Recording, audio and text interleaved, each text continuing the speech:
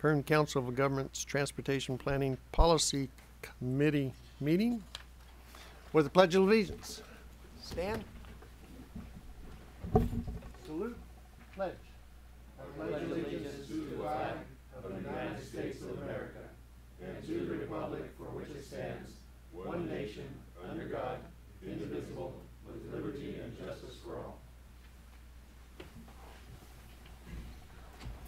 Roll call, please. Couch. Here. Helton. Here. Blades. Here. Crump. Here. Tafoya. Here. Flores. Here. Crier. Here. Navarro. Here. Lisenovich. Here. Para. I am here. Reyna. Here. Scrivner. He's on here. I saw him, yeah. I, I'm here. Bob Smith. I'm here. Phil Smith. Here. Trujillo. Vasquez. Here. Did I miss anyone? Percy with the JPPB. I'm sorry, can you repeat that? Oh, Kersey, okay. I Yeah. thought Monica was here for that. Okay, thank you. You're welcome. Thank you. Public comments. This portion of the meeting is reserved for persons to address the committee on any matter not on this agenda but under the jurisdiction of the committee. Committee members may respond briefly to statements made or questions posed. They may ask a question for clarification, make a referral to staff for factual information, or request staff to report back to the committee at a le- later meeting. Speakers are limited to two minutes. Please state your name and address for the record prior to making a presentation. Are there any is there anybody present for public statements? Seeing none, anybody online? Is there anyone online that would like to address the board? No. No. Special action, action item, Assembly Bill 361, authorizing teleconferencing under certain conditions. Ms. Napier. Yes, thank you, Mr. Chairman and members of the committee. This is our regular item so that we can continue to um, have uh, virtual and in-person meetings um, until the legislation is repealed. Can I have a motion? So. Second. Roll call vote. Couch, Yes. Helton. Blades. Yep. Crump, Yes. Tafoya, Yes. Kersey, Yes. Crier, Yes. Navarro, Yes. Lisenovich, No. Para, Yes. Proud, oh, Proud's not here. Reyna, Yes. Scrivner, Aye. Bob Smith, Yes. Phil Smith, Yes. Vasquez. Yes. Thank you. Thank you. Consent agenda opportunity for public comment. All items on the consent agenda are considered to be routine and non-controversial by Kern Cog staff and will be approved by one motion if no member of the council or public wishes to comment or ask questions. If comment or discussion is desired by anyone, the item will be removed from the consent agenda and will be considered in the lis- listed sequence with an opportunity for any member of the public to address the council concerning the item before action is. Is there any public that wants to remove a consent agenda item? Seeing none. Any online? None. Any council members? Second. Roll call Item. vote. Vasquez, Yes. Phil Smith, Yes. Bob Smith, Yes. Scrivner, Aye. Reyna, Yes. Par- Para, Yes. Lisenovich, Yes. Navarro, Yes. Crier, Yes. Kersey, Yes. Tafoya, Yes. Crump, Yes. Blades, Aye. and Couch. Yes. Caltrans report. Thank you, Mr. Chair, members of the board. Thank Uh, you. Mike Navarro with Caltrans. Uh, so a couple of updates before I get into projects. So you probably recall, we've been talking about the 9 Summit we had with the eight Valley uh, counties that participated. Um, it was a successful event. However, since that time, the, the next step was to go into what we're doing is a, a 99 multimodal corridor plan, which will start at the southern limits of Kern County and go all the way up to US 50. Um, we were recently awarded some funds by headquarters via federal highways for about $1.65 million to fund that study. So we're looking forward to kicking that off and having a lot of co- collaboration with our partners. Um, also, our planning grants were announced last month, and we'll be funding a, a, a long-range transit plan study for the Metro Bakersfield area for the amount of three hundred thousand dollars. And I also want to share too. We, this month we had our um, our Fallen Workers Memorial for Caltrans. We've since 1921 we've lost 189 Caltrans workers um, in the field, so we acknowledge them this month. Um, we did have a, a a remembrance at the South Region Maintenance Office here in Bakersfield this past Tuesday, and we had one in our district office on Wednesday, and there'll be one at the state capitol on April 28th. So I just wanted to acknowledge that. And that kind of goes into which April is Distracted Drivers Month, so you'll see some uh, safety campaigns coming out for with new slogans for because most of the workers that work here in the field were a lot of it's due to distracted driving. So there'll be a campaign out with slogans. One's "Quit phoning around and get off your apps," or what you'll see posted around. Cute. I don't know who writes these. They're great. Can't take credit for those. But just to put in perspective, I mean, so cell phone driving, they're saying when you're going 55 miles per hour, looking at your phone, the average person looks away for about five seconds. You travel the distance of a, of a football field to put it kind of in perspective. So just wanted to share that, the importance of, of addressing that this month. As for projects, the Bakersfield Freeway Connector Project at 5899, um, that contract is scheduled for completion the spring of this year. Uh, so the bridge widening over westbound 58 over 99 is completed. The new loop connector from 58 to 99 and the tunnel are now open. The new traffic pattern is active and the detour has been removed. Uh, 99 rehab, the Palm Avenue overcrossing to Beardsley Canal Bridge. Uh, so we've completed uh, the hot mix asphalt and, and continuous reinforced concrete pavement as part of stage three, and we opened up the northbound ramp at Olive Avenue earlier this month. Uh, we switched to stage three, which is in phase two, which is working on the number three lane. So switched the northbound traffic and southbound traffic to the inside shoulder uh, to work on the outside uh, number three lanes. At 178 Buck Owens Boulevard, uh, they did some night work that I think concluded last night and perhaps tonight as well. Um, final striping will be done in May. We'll be striping some bike lanes on westbound 178 uh, late May, June, and that project is completed to be wrapped up in June of this year. Uh, the old US 99 to White Lane 99 rehab project uh, should be wrapping up tree removals uh, end of this week. Uh, stage four activities between Panama Lane and White Lane. That work includes lowering the freeway inside lanes and then uh, adding cement pavement on the inside lanes number one and two and inside shoulder have been completed. Uh, the northbound off ramp at 223 will be closed for about 25 days and reopened in middle of May. Expected completion of that project is spring of 2023. So the State Route 223 Derby Signal Project, uh, all work is complete except for a few minor punch list items. The signal poles have been installed and energized, and we're coordinating with the railroad to sync the signals with the railroad signals.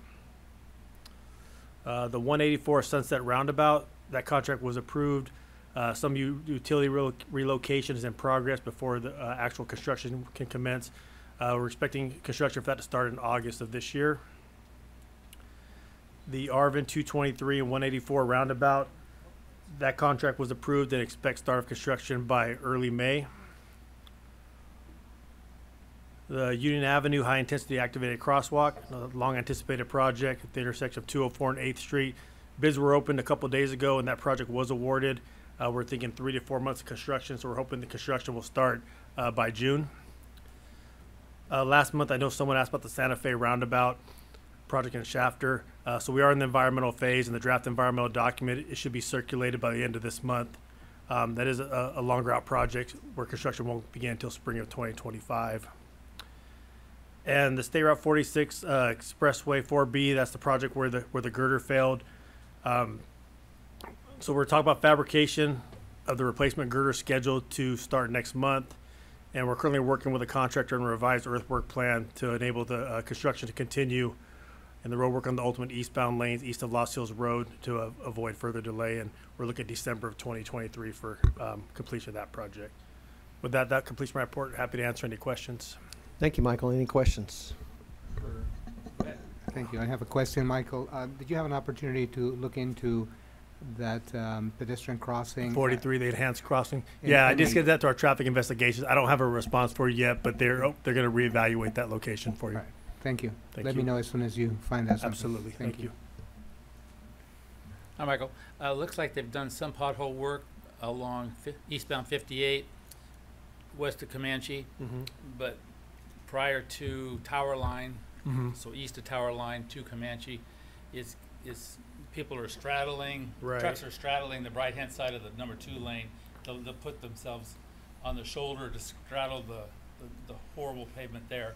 Right. Most everyone's just staying in the left lane. So prior to Tower, and then there's a, before Comanche, it moves into the newer concrete, Right, or the newer pavement, or uh, newer in recent years. It's, right. but it's still, it's still a mess. Yeah, and I think that's when we talked about last month where um, our maintenance crews did go out there and did acknowledge the, the what you explained out there. Yeah. And we do have a more holistic project we're working on. In the meanwhile, maintenance to go out there and try and do some potholing and salvage, you know, Yeah. what's out there available now. But we do have a, a, a pavement project scheduled to address a lot of that. Okay, I could see some work done though, because you, it, you, sometimes you're just stuck in the right-hand lane and the, they were smoothed over potholes, so some of Yeah. our getting done, is appreciated. Right.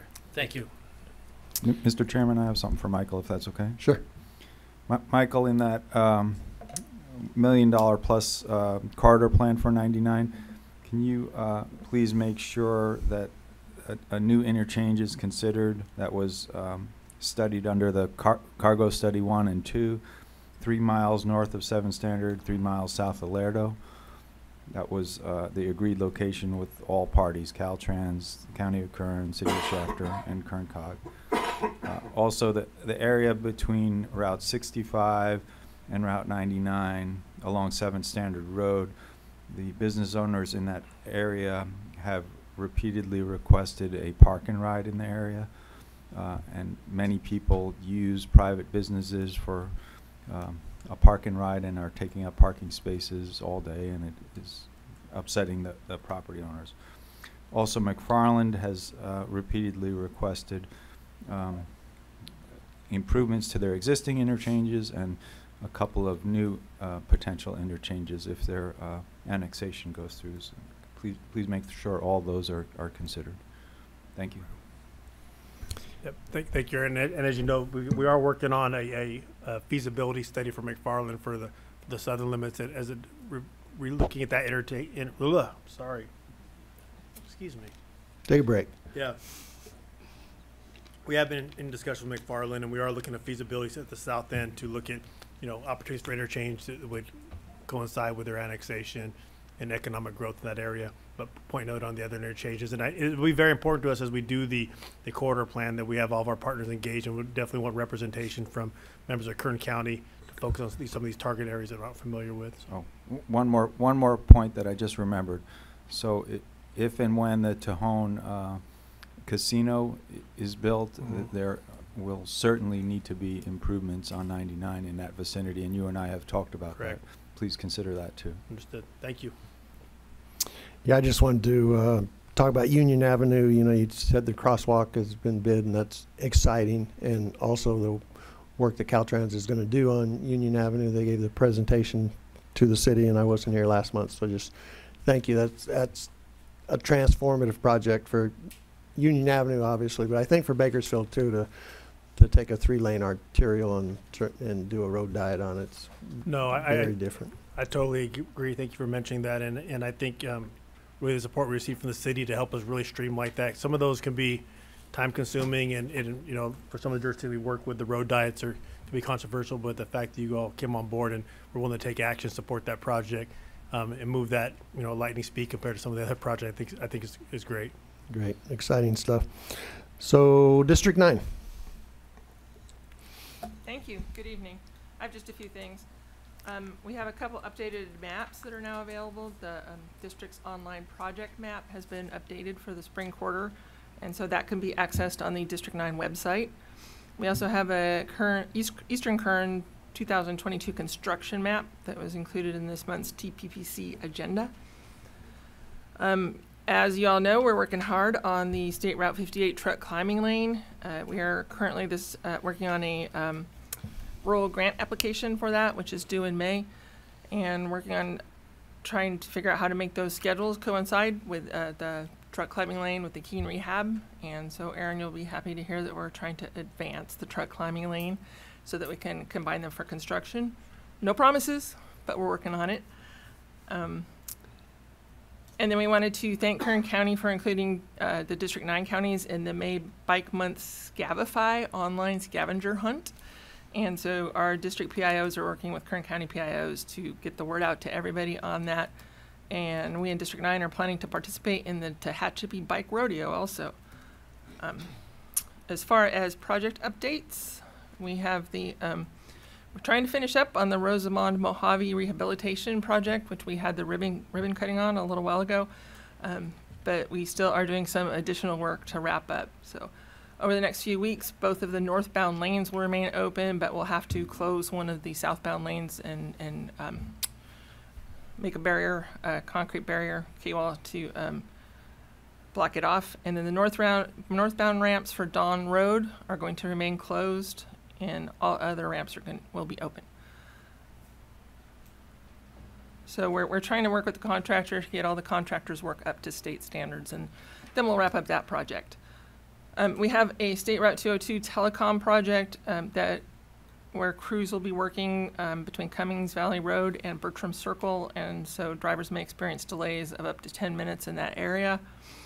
And then State Route 178 utility work on 178 um, Monday through Friday from 6 to 6 between Easy Street at the end of Canebrake Creek Bridge and between the junction of State Route 14 and Airport. And so drivers may experience up to 20 minutes delays there. And then projects which should have no delays or minimum delays include uh, Broom Road crack seal on State Route 58 between the uh, Broom Road and the junction of State Route 202 Tucker Road, and Jack's Ranch Road traffic signal on State Route 178 between 0.5 miles west of Jack's Ranch Road and 0.5 miles east. And that's it for my update, unless anyone has any questions. Thank you. Any questions? I have a quick, just a quick comment for all of Cal- Caltrans. I just wanted to thank you all for getting that uh, rest stop on 46 open finally. Um, it's a very needed stop for when I try to get my mom over there to. She likes to go to the coast every once in a while, and she needs that that stop to rest her legs and get out and walk. So thanks for getting that open again. Mr. Smith. Hi, Kirsten. Uh, could you expand a little bit on that rural grant that you're talking about for the truck climbing lanes? Um, so it's it's a you know it's a, grant, a recent grant that came out. It's a very quick turnaround. Um, it's a 80% grant with a 20% match, which we still need to identify funds for. Mhm. Um, for, and it's kind of a wide variety of, of rural projects, um, of which the truck climbing lane seems like it it would apply. But it's just in that one portion between Keene and Tehachapi? Yeah, it's just location two. Sorry. Okay. So there are three. There are actually three truck climbing lane uh, locations that have been identified. The one we're currently working on is two. Okay. We are funded um, through the current uh, COVID funding to do um, the preliminary design work, but to move forward in the next uh, phases, we're going to have to identify additional funding. Right. Yeah. Okay.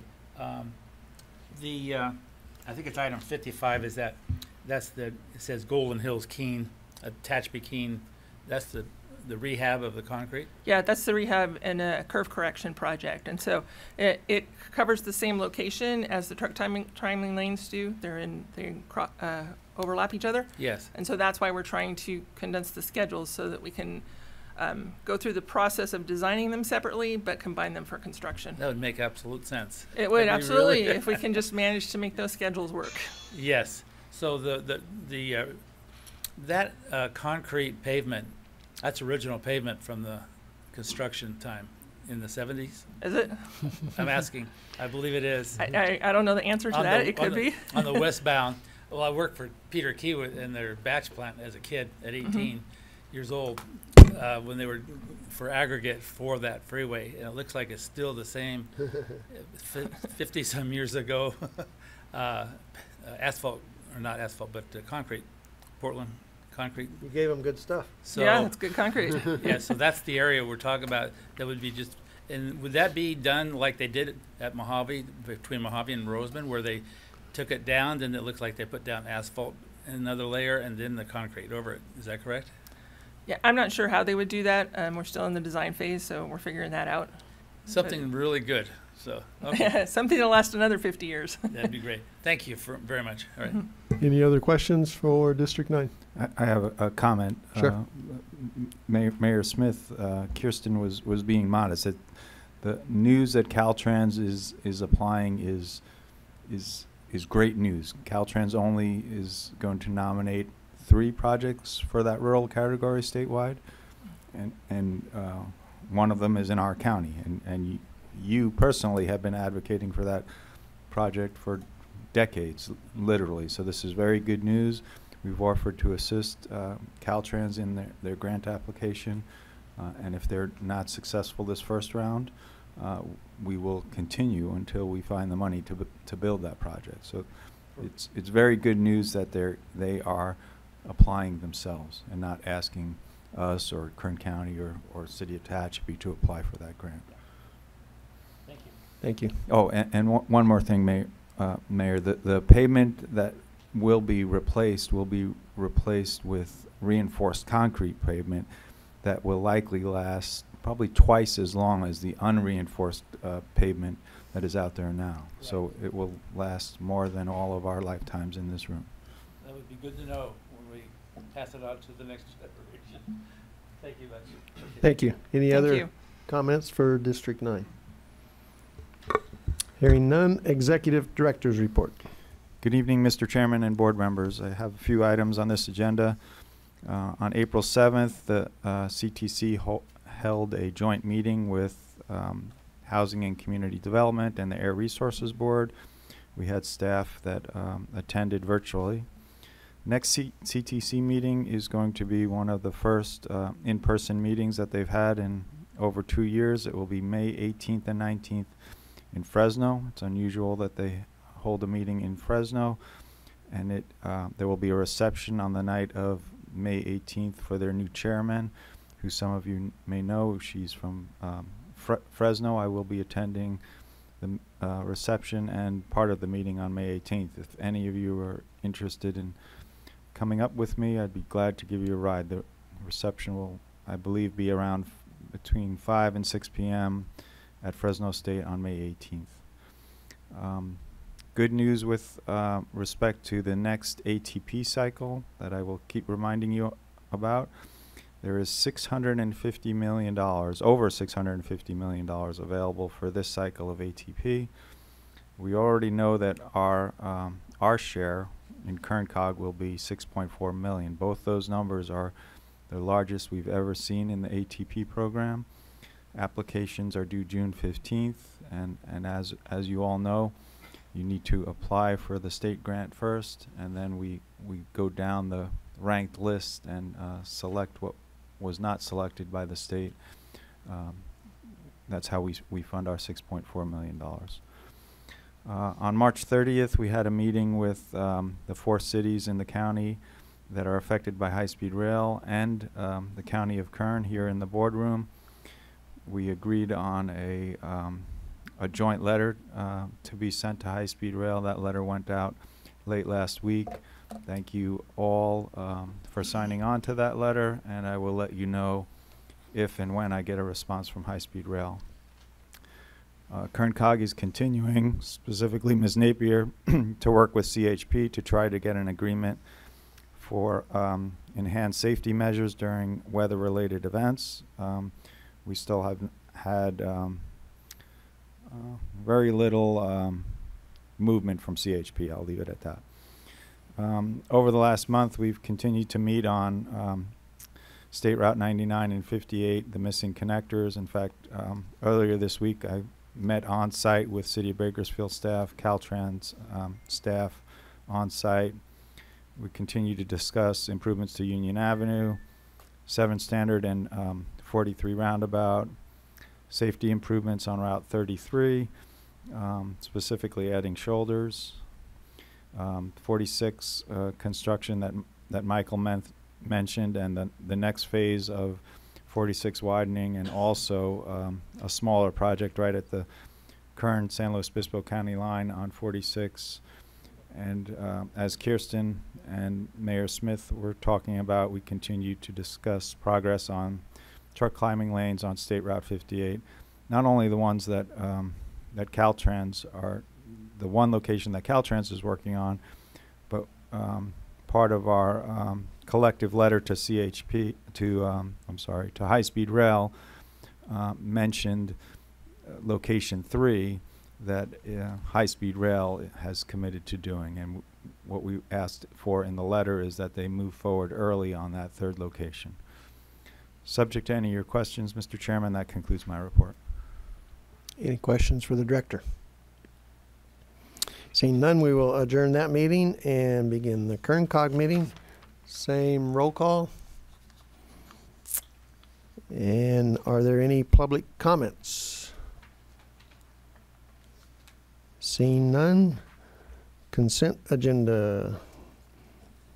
All items on the consent agenda are considered to be routine and non-controversial by Kern Cog staff and will be approved by one motion if no member of the council or public wishes to comment or ask questions. Are there any public comments?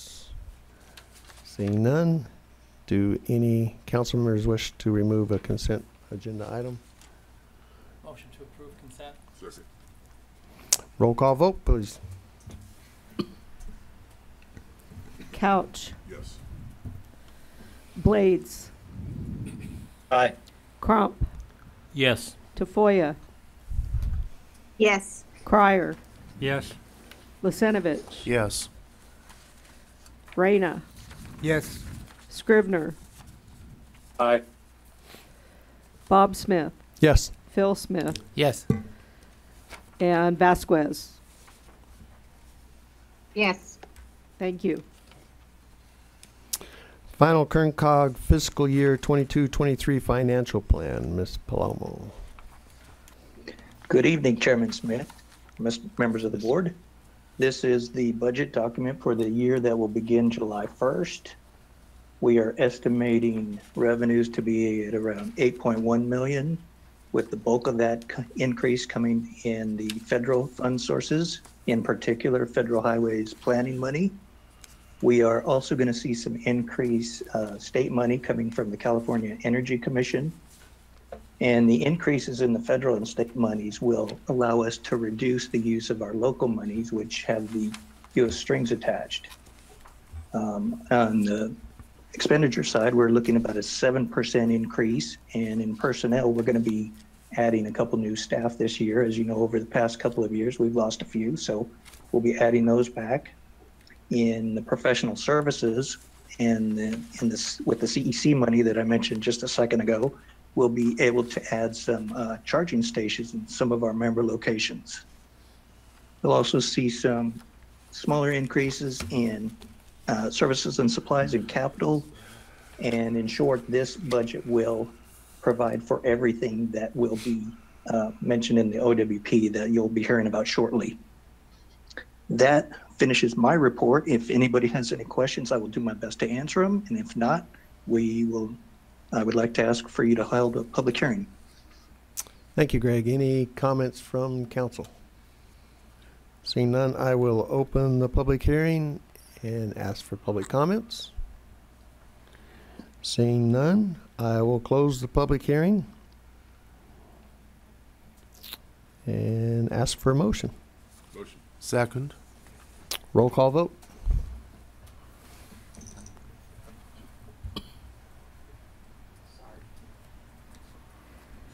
Couch, Yes. Blades, Aye. Crump, Yes. Tafoya, Yes. Crier, Yes. Lisenovich. Yes. Reyna, Yes. Scrivner, Aye. Bob Smith, Yes. Phil Smith, Yes. and Vasquez. Yes. Final KMAA fiscal year 22-23 financial plan, Mr. Palamo again. Hello again. Um, this budget for the Motorist Aid Authority is very similar to the last few years uh, worth of budgets that we've had before you. As you know, the revenues are derived from uh, the vehicle registration fees in the county. And with those fees and the interest that we collect, we will be maintaining the travel information system, the county and the city contracts for the uh, litter pickup, and as Mr. Hakimi mentioned, we have provisions for uh, CHP enforcement if we can get them to um, talk to us and work out an agreement. So that's my short and sweet presentation. I'll ask if anyone has any questions and then ask to hold another public hearing, please. Any questions for Greg? Seeing none, I will open the public hearing for comments.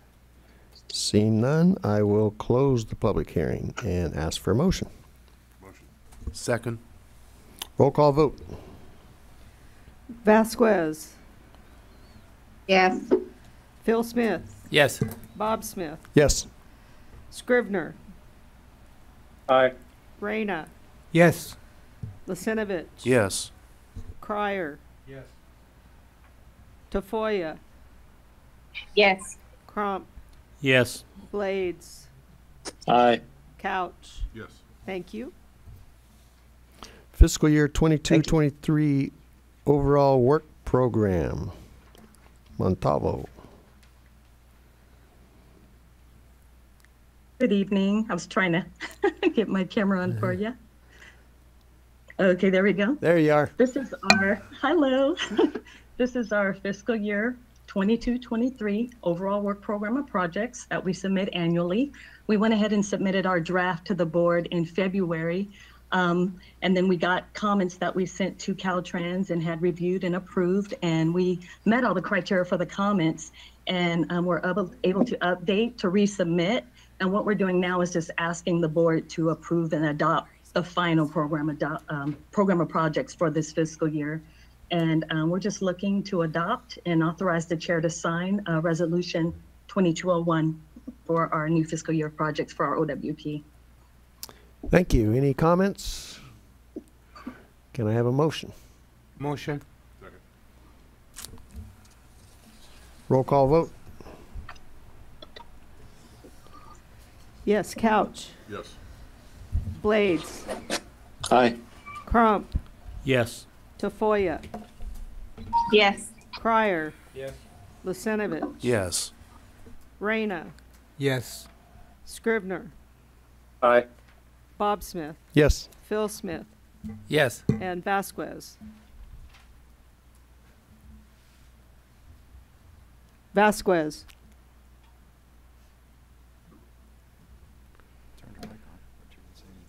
uh, Vasquez, we can't hear you.